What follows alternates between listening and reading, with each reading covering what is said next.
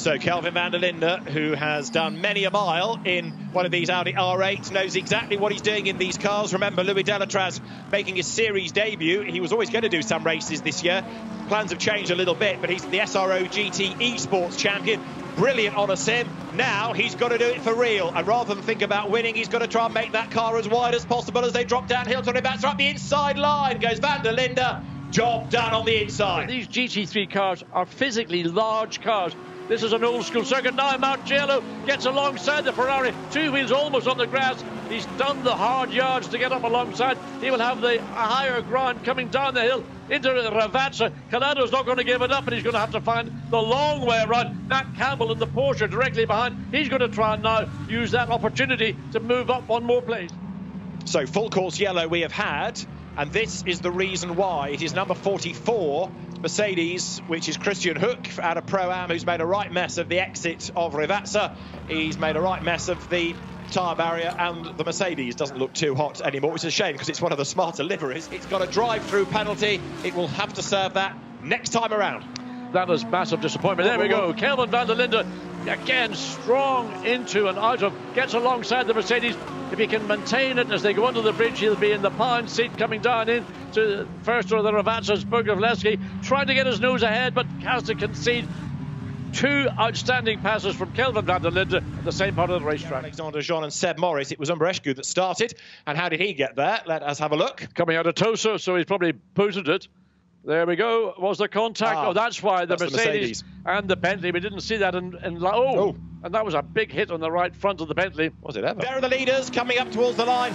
Is this the lap they're about to start on which Kelvin van der Linde goes for the race lead? A second was the margin. They break the timing beam and it's down to 0.274 of a second. And van der Linde is going to have a go. Is he coming into the Tamburello chicane? Yes, oh, he, did. Through he, he goes. He did. He made the switch back. He was on the right-hand side of the track. Collado went to cover that, and van der Linde dived down the inside, dived into the apex, of the entry into, into Tamburello and took the lead away. Wow, wow, I'd love to see that one again and again and again. And a Mercedes is in the gravel, and, and that's, that's one of the AKKA cars. It's 87, isn't it? The Jim Pla, Jean-Luc Beaubelique, Fabien Barthez entry. Again down to Rivazza, looks like he's been tagged.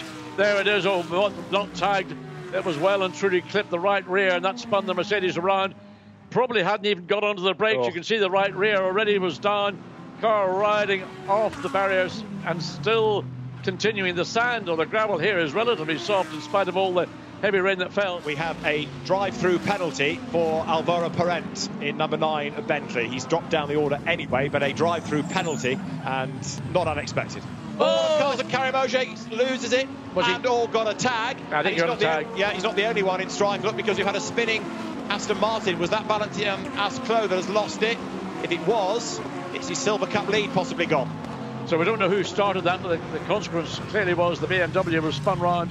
But everybody was so close, I mean, it was inevitable there was going to be a contact or other. That the back of the Barwell Lamborghini is smoking now as well. Whether that's a tire up or something more serious. That's how Hasse-Clot had his spin. And that's the left front of the Lamborghini. Yeah. This was from another angle. That was Karimojet having his moment with a bit of help. And as cars scatter, it's, it's like, down to luck, isn't it? It's just like a game of skittles. I mean, literally, if you can get 10 in one bowl, you've done the, the best I've you can. just got to pan, find a way past one car. I've got two cars that are in an inter-car battle. And look, I mean, Alvaro Parente again trying to use the pace down oh. the hill. Oh! oh, Alvaro, what are you doing? Unnecessary. It was never going to be a pass. It was inevitable there was going to be a collision. It was Schiller's corner, and you've just completely bleep, bleep, bleep, bleeped it up.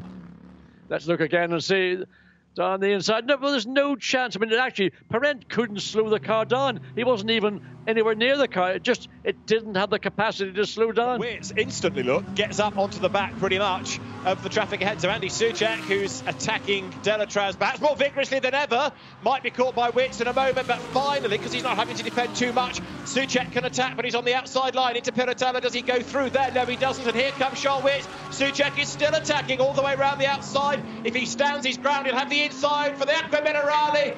Fantastic! Andy Soucek has done it after about half an hour plus of trying.